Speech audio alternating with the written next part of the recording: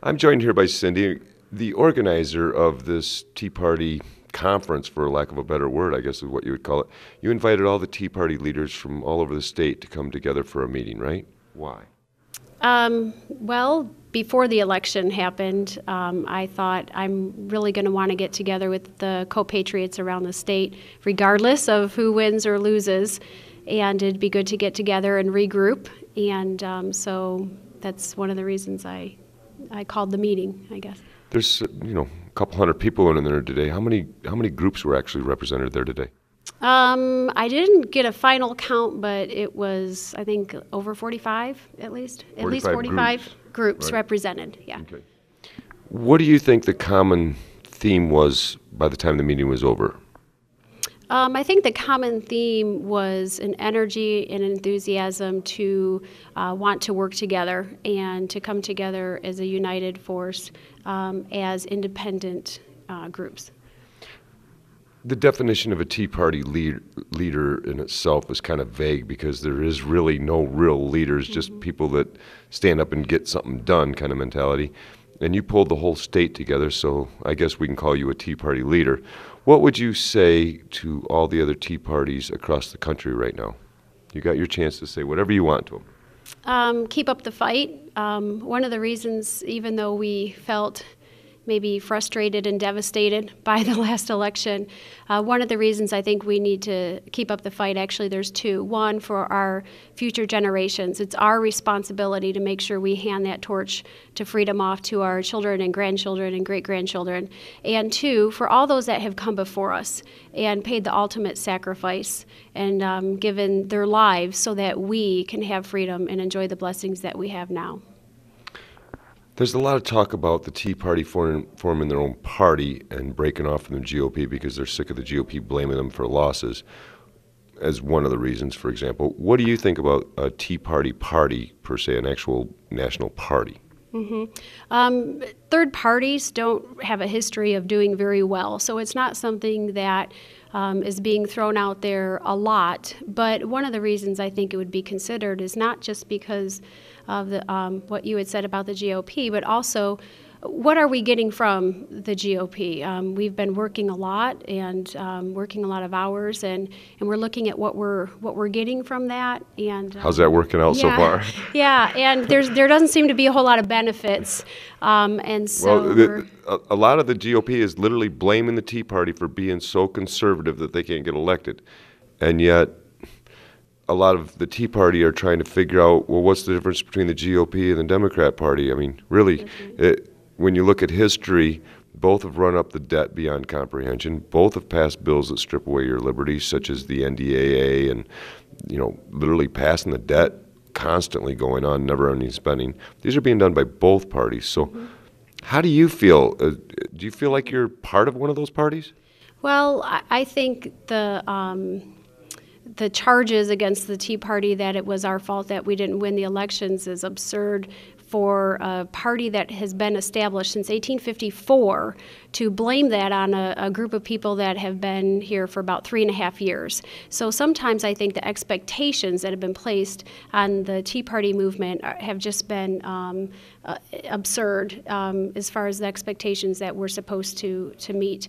Um, however, at the same time, if you look at the candidates in this last election, um, there were a few Tea Party candidates that um, weren't elected, but there were also many, many, many moderate candidates that weren't elected as well.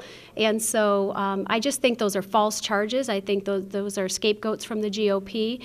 If you uh, look at Michigan per se and, and the victory centers um, that many of us volunteered at, for this past election, um, there's lots of reasons that we can see why the GOP has not been as effective uh, as it really could or should be.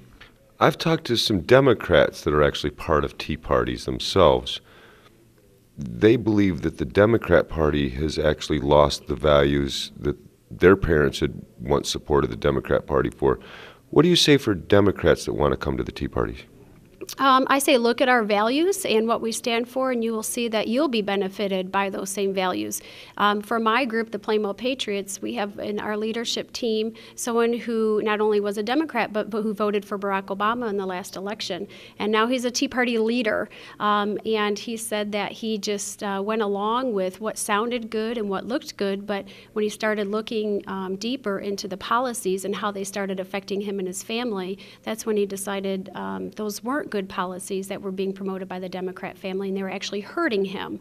Uh, so that's when he came to our Tea Party. I want to ask you a couple um, questions about what's going on current today. Um, one example is Hostess. The union basically just drove an American company right into oblivion because you can't get blood out of a turnip. You can't demand more than's even possible for those workers to produce. So if the workers can't make their own paycheck, how is a business going to stay in business? Um, I come from a family that has union employees um, and non union employees. They're all from the east side of the state, and so is my husband. And um, we've seen a lot of history with, with um, the unions, and uh, it's been a concern of ours for a long time um, about these patterns that we're, we're seeing uh, within the union system. And I think it's just changed and evolved over the years to become what you have said. I- Speaking of hostess, one of the things I heard this morning was that the union um, contract said that they could not um, send in one truck hostess bread and, and Twinkies. Twinkies on the same- on the on the same same truck. And, and so, um, you know, if, if you think you're going to be able to keep a business going with those kinds of demands, um, it's gonna it's gonna fail, and, and then now those people are going to be out of a job, um, which is the ultimate. Well, one thing outcome. someone asked me, they said, I have a 401k. I want Wall Street to hire a, an executive that's going to make them money for their retirement and mutual funds to go up. And at the same time, that person said, but the CEOs are making too much money. How, how, do, you, how do you tell a CEO that you come to work for company A if company B is willing to pay him more money because they can make more money? How does that competition work? And then why are these CEOs um, villainized? I guess is a good word for it. What What do you tell them?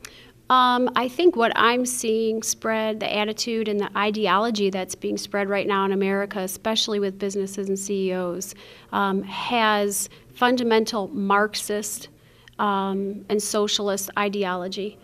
And The CEOs do. No, the I, the ideology being promoted that they're evil, that CEOs are evil, that they're bad, um, that there's somebody else in government that should dictate how much um, somebody should be able to earn um, through their blood, sweat, and equity, and those um, ideas are stem from Marxist ideology, and that's very concerning concerning to me because those were not the ideas that founded our nation and made us the most prosperous country in the world.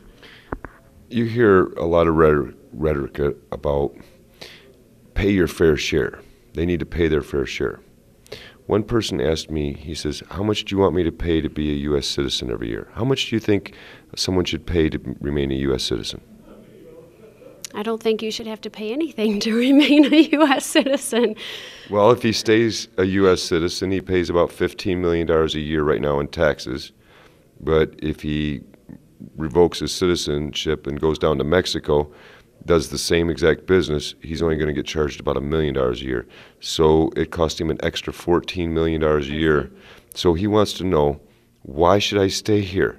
I gotta, I can afford to go back and forth and do, travel and do whatever I want.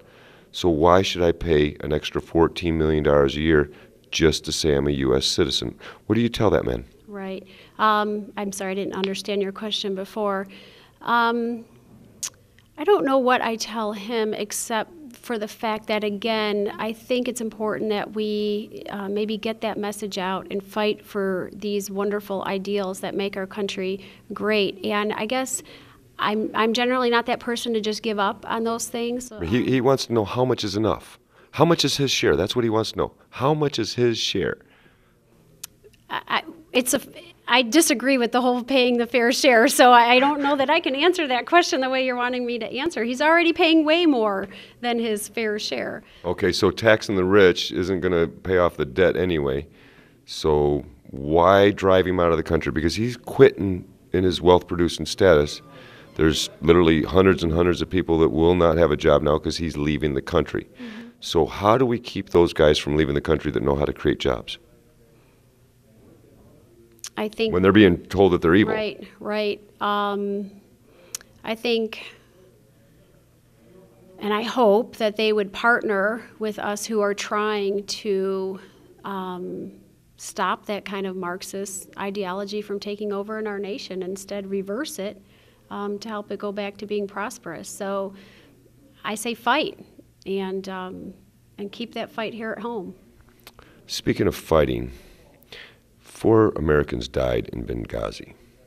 Do you feel our government is being honest with you? Um, Benghazi has been the topic in the last few months that has probably bothered me the most.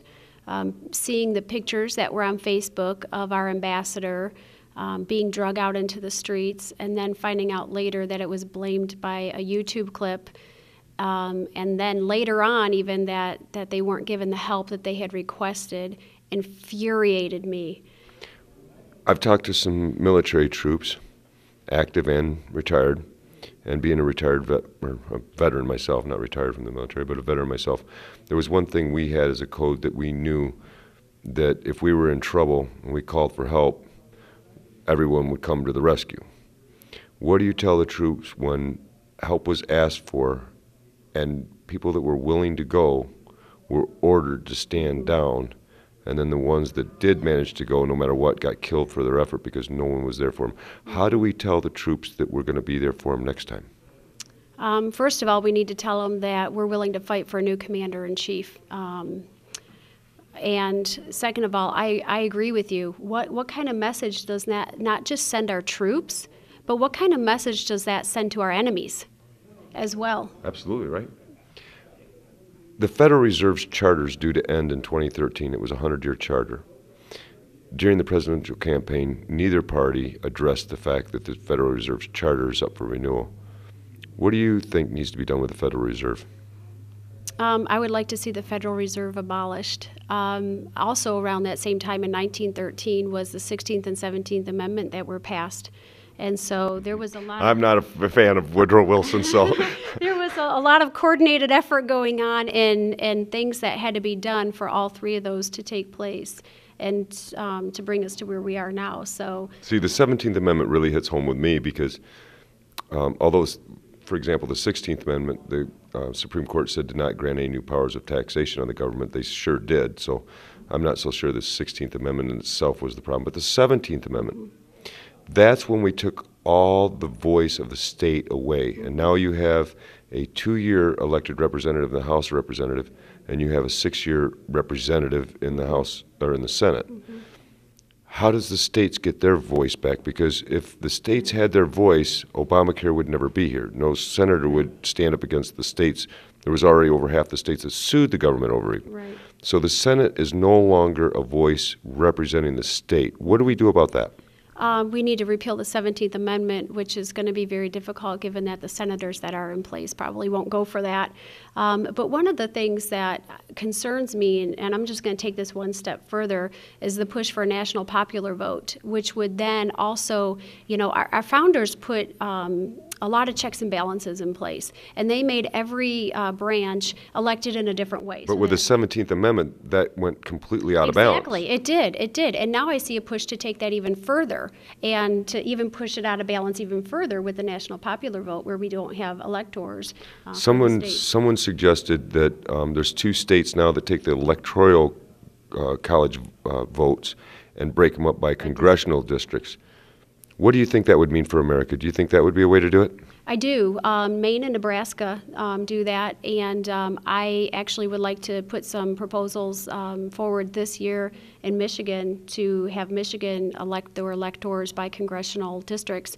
And I think the benefit too is everyone wants their vote to count, and um, and what they don't understand is if you went to a national popular vote, your vote would now be one of how many people voted in the presidential election. I- I But it wouldn't know. really represent the sentiments of that state no longer. Exactly, yeah, but, but bringing it more local And, and just having that, your vote in that district. So it- it breaking has up the a- a electrical, higher col- or power. the electoral college based on congressional districts, you Yeah. think would bring a little more um, uh, power to an individual vote I- that's not buried in a metro city? Is that it? I, I do, um, in two ways. Um, one way, if you live in a conservative congressional district and you see in the election every time, oh, you know, Wayne County just voted and now it just flipped all of ours, that can get frustrating. But also, it empowers the individual because you can have an influence and impact in your district. It's a lot easier to do that, you know, knocking on doors, making phone calls, putting up signs in your district. You can have a direct influence there.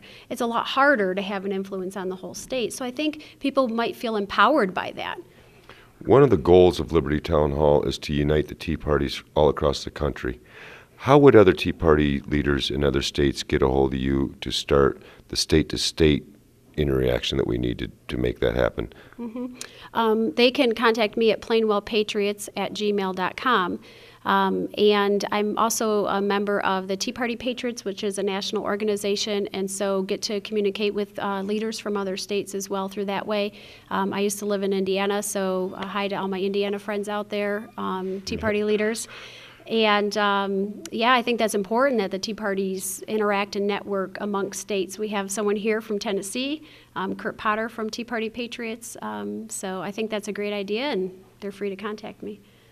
Well, like I said, Liberty Town Hall is a voice for the Tea Parties. That's that's our sole goal is to give them a national media platform. So, what do you want from me? What do you want me to do to help your battle?